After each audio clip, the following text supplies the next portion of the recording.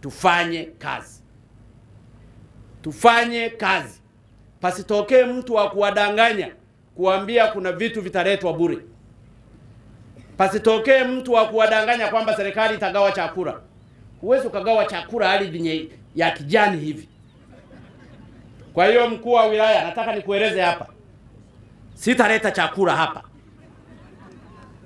Ukishindwa wewe leta tu kwamba useme nimeshindwa kuongoza wilaya hii. Hakuna chakula cha serikali. Mvua zinanyesha, watu tufanye kazi. Na bahati nzuri haya yote yameandikwa hata katika maandiko yetu. Sisi serikali tusimamie yale mahitaji muhimu kwa Watanzania.